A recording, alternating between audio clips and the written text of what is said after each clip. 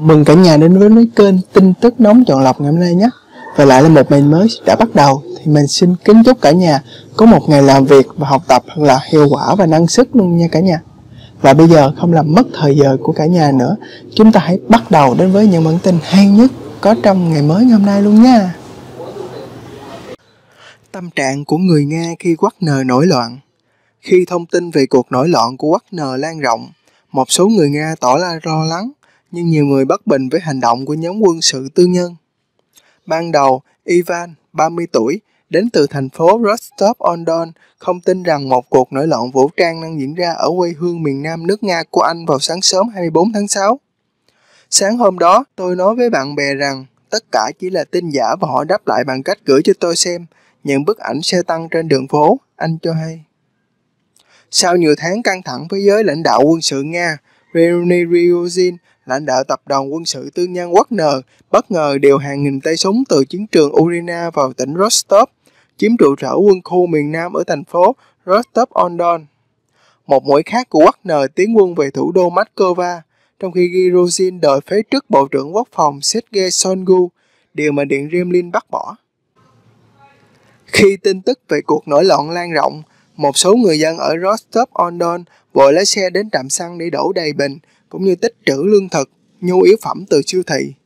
Trong khi đó, nhiều người tỏ ra giận dữ trước hành động bộc phát của Wagner, trong bối cảnh Nga đang chịu sức ép từ nhiều phía về chiến dịch tại Ukraine. Đây là thời điểm đầy khó khăn, tôi không nghĩ mình lại phải chứng kiến điều như vậy xảy ra. Người dẫn chương trình truyền hình Nga Vladimir Solovyov nói trong một video đăng trên Telegram hôm 24 tháng 6. Những chiến binh Wagner sẽ rất hữu ích ở tiền tuyến cho các cuộc hành quân đến Lip hay Kiev nếu cần, thậm chí xa hơn nữa. Nhưng khi nhìn những gì đang diễn ra, bạn tự hỏi thứ gì dẫn đến điều này? Kẻ thù ở ngoài kia, ở Ukraine, hãy dừng lại trước khi quá muộn. Không gì đáng sợ hơn nội chiến, ông gửi thông điệp đến lực lượng Wagner. Mitri Rogozin, cựu giám đốc cơ quan hàng không vũ trụ Liên bang Nga, lên tiếng chỉ trích Rigozin. Trong xung đột, bạn phải từ bỏ mọi toan tính và hỗ trợ hết mình cho mặt trận. Bất kỳ nỗ lực nào nhằm làm suy yếu nó đều là tiếp tay cho kẻ thù, Rogozin nói. Nhà báo Amen Gasparian gọi cuộc nổi loạn của Rigozin là hành động phản bội và đâm sau lưng quân đội. Với những người mong muốn ổn định, nếu phải chọn giữa Tổng thống Putin và Rigozin, họ chỉ chọn Tổng thống Kolenikov nói. Su-27 Nga chặn trinh sát cơ và tiêm kích Anh. Nga triển khai hai chiếc Su-27 chặn trên các cơ RC-135 của Anh cùng hai tiêm kích T-Bone hộ tống trên Biển Đen, buộc nhóm máy bay này quay đầu. Các hệ thống kiểm soát không phận phát hiện ba mục tiêu trên Biển Đen tiếp cận biên giới Liên bang Nga. Bộ Phòng Nga ngày 26 tháng 6 thông báo, hai tiêm kích Su-27 xuất kích để nhận dạng và ngăn chặn hành vi xâm phạm biên giới Nga. Bộ Phòng Nga cho biết các phi công Su-27 phát hiện máy bay trinh sát và tác chiến điện tử RC-135 cùng hai tiêm kích Tipon của Anh. Khi các tiêm kích Su-27 tiếp cận, nhóm máy bay Anh quay đầu và bay ra khỏi biên giới Nga. Các tiêm kích Nga trở về căn cứ an toàn, biên giới Nga không bị xâm phạm, cơ quan này cho biết đồng thời khẳng định hai chiếc Su-27 tuân thủ nghiêm ngặt quy định về không phận trên các quần biển quốc tế, không cắt ngang tiếng hàng không hoặc tiếp cận nguy hiểm với máy bay nước ngoài. Không quân Nga nhiều lần điều tiêm kích chặn máy bay nước ngoài trên các vùng biển gần biên giới nước này. Trước đó, Nga hồi tháng 5 điều tiêm kích chặn quân tặc cơ Mỹ, trinh sát cơ Đức và Pháp trên biển Baltic. Một máy bay không người lái UAV trinh sát MQ-9 Reaper của Mỹ rơi tại Biển Đen vào tháng 3 sau khi bị tiêm kích Su-27 Nga xả nhiên liệu vào. Quân đội Mỹ cho rằng cánh quạt chiếc MQ-9 hỏng sau va chạm với chiếc Su-27. Tuy nhiên, Bộ Phòng Nga tuyên bố tiêm kích Su-27 không va chạm với UAV Mỹ. Anh tháng 6 năm 2021 điều khu trục hạm HMS Defender ám sát bán đảo Crimea khiến Nga triển khai hai tàu biên phòng xua đuổi và bắn cảnh cáo. Hàng chục tiêm kích và cường kích Nga xuất hiện trên đầu chiến hạm Anh, thả một số quả bom trên tuyến đường đi của con tàu để dằn mặt. Tổng thống Zelensky thăm binh sĩ trên tiền tuyến Tổng thống Zelensky tới thăm một số đơn vị Ukraine trên tiền tuyến, trao quân chương cho các binh sĩ giữa chiến dịch phản công. Văn phòng Tổng thống Ukraine ngày 26 tháng 6 thông báo về chuyến thăm của ông Volodymyr Zelensky và công bố video liên quan. Tuy nhiên, cơ quan này không tiết lộ thời gian và vị trí cụ thể. Tổng thống Ukraine tới gặp các binh sĩ tại tỉnh Donetsk, trong đó có những người tham gia trận đánh ác liệt trên hướng Bắc Môn. Video cho thấy ông Zelensky trao quân chương cho lính và xem bản đồ cùng tư lệnh lục quân Olesasitsky.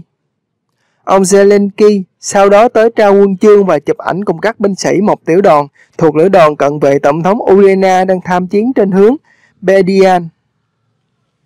Thứ trưởng Quốc phòng Ukraine Hanma Malia ngày 26 tháng 6 cho biết các đơn vị tiền phương kiểm soát làng Rinobin ở tỉnh Donetsk song không công bố thời điểm cụ thể.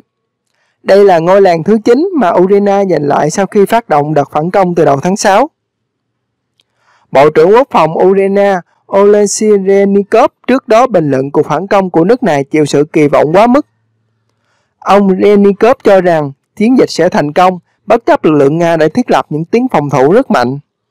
Ông Renikov cho biết quân đội Ukraine không có dự định phản công chấp nhón, có hành động trong 3 tuần qua thuộc giai đoạn chuẩn bị và chưa bao gồm những mũi đánh chủ lực của chiến dịch. Bản tin thứ tư Trùm Wagner lần đầu lên tiếng sau vụ nổi loạn. Ông Rigozin nói lực lượng Wagner cuối tuần trước tổ chức cuộc hành quân để phản đối và không nhằm lật đổ chính quyền. Rereni Rigozin, lãnh đạo tập đoàn quân sự tư nhân Wagner, ngày 26 tháng 6 cho biết điều hai nhóm quân dưới quyền tham gia vụ nổi loạn cuối tuần trước. Một nhóm quân quốc Nờ tới thành phố Rostov-on-Don và kiểm soát trụ sở quân khu miền Nam của Nga. Nhóm còn lại hành quân tới thủ đô Moscow. Lực lượng của chúng tôi tiến được 780 km trong đêm, chỉ còn cách Moscow 200 km. Ông Prigozhin nói, đồng thời khẳng định cuộc hành quân tới thủ đô của Nga nhằm ngăn quyết định hủy hoại quốc Nờ. Nhóm quân quốc Nờ được điều tới Moscow dừng lại sau khi nhận thấy nguy cơ đổ máu lớn trong khu vực. Ông Prigozhin tuyên bố hoạt động của Wagner ngày 24 tháng 6 là biểu tình phản đối, không nhằm lật đổ chính quyền, đồng thời khẳng định nhiều người bày tỏ ủng hộ tập đoàn. Chúng tôi cảm thấy rằng chứng minh những gì mình sẽ làm là đủ. Vào thời điểm này, ông Alexander Lukashenko chia tay ra và đề nghị tìm giải pháp cho công việc tiếp theo của tập đoàn Wagner trong quyền hạn. Ông Rigozin đề cập tới cuộc đàm phán với Tổng thống Belarus. Theo ông Rigozin, Bộ Phòng Nga lên kế hoạch chấm dứt sự tồn tại của Wagner khi yêu cầu các đơn vị quân tình nguyện ký hợp đồng với cơ quan này trước 1 tháng 7. Ông Rigozin cho biết một số thành viên Wagner đã ký hợp đồng với Bộ Quốc phòng Nga Xong, đây là con số tối thiểu, ước tính khoảng từ 1 đến 2% lực lượng. Nga chưa bình luận về thông tin của lãnh đạo Wagner. Hàng nghìn lính Wagner ngày 24 tháng 6 tiến vào tỉnh Rostov sau khi ông Rigozin cáo buộc Bộ trưởng Quốc phòng Nga Sergei Shoigu chỉ đạo cuộc tập kích vào quân trại của tập đoàn, gây thương vong lớn. Bộ phòng Nga bác thông tin này. Sau khi Wagner thông báo các đơn vị của tập đoàn quay về doanh trại để tránh đổ máu, Điện Kremlin ngày 25 tháng 6 cho biết Rigozin sẽ rời Nga và tới Belarus. Tuy nhiên, ông Rigozin trong thông điệp ngày 26 tháng 6 không tiết lộ vị trí của mình. Các quan chức Nga thông báo một số ngôi nhà và tuyến đường hư hại trong vụ vất nờ nổi loạn, cũng như ghi nhận một đám cháy lớn tại tỉnh Voronezh có thể liên quan tới sự việc. Họ cho biết không ghi nhận thiệt hại nào về người. Ngoại trưởng Sergei Lavrov cho rằng giới tình báo Mỹ hy vọng cuộc nổi loạn sẽ thành công, đồng thời tuyên bố Ngài đang điều tra nghi vấn tình báo phương Tây liên quan sự việc. Ông Lavrov cũng cho biết đại sứ Mỹ Lini Tracy ngày 25 tháng 6 thảo luận với đại diện Nga đưa ra tín hiệu rằng Washington không liên quan vụ nổi loạn và nhấn mạnh đây là vấn đề nội bộ của Nga. Cũng như video ở các bản tin trước thì bản tin thứ năm, bản tin cuối cùng trong series tin tức nhóm video chọn lọc ngày hôm nay cũng là bản tin hay và khá là hấp dẫn luôn nha cả nhà. Vậy để biết được bản tin thứ năm hay, hấp dẫn như thế nào thì chúng ta hãy bắt đầu đối với bản tin thứ năm ngay luôn nha. Bộ Quốc phòng Nga yêu cầu Wagner giao nộp vũ khí tài hạng nặng. Bộ Quốc phòng Nga cho biết Wagner đang chuẩn bị bàn giao các khí tài hạng nặng cho cơ quan này sau cuộc nổi loạn cuối tuần qua. Công tác chuẩn bị đang được tiến hành để công ty quân sự tư nhân Wagner chuyển giao các khí tài đó cho các đơn vị quốc lượng vũ trang Nga. Bộ Phòng Nga hôm nay cho hay Khí tài hạng nặng là thuật ngữ để chỉ các loại vũ khí cỡ lớn như xe tăng, pháo, thiết giáp. tập đoàn Wagner từng được quân đội Nga cung cấp các loại khí tài này để phục vụ chiến dịch tấn công vào thành phố Bắc Mun. Bộ Phòng Nga không nêu điều điểm thời gian cụ thể, chuyển giao cũng như các thành viên Wagner được phép giữ lại những vũ khí gì. Cơ quan an ninh Liên bang Nga FSB cùng ngày thông báo đã hủy điều tra vụ án hình sự liên quan vụ nổi loạn của Wagner do những người đã tham gia chấm dứt hành động trực tiếp phạm tội. Vreni Rigozin, lãnh đạo tập đoàn quân sự tư nhân Wagner, tiến hành cuộc nổi loạn cuối tuần qua sau khi các cáo buộc Bộ trưởng Quốc phòng Sergei Shoigu ra lệnh không kích trại huấn luyện của Wagner ở tỉnh Rostov, gây thương vong lớn.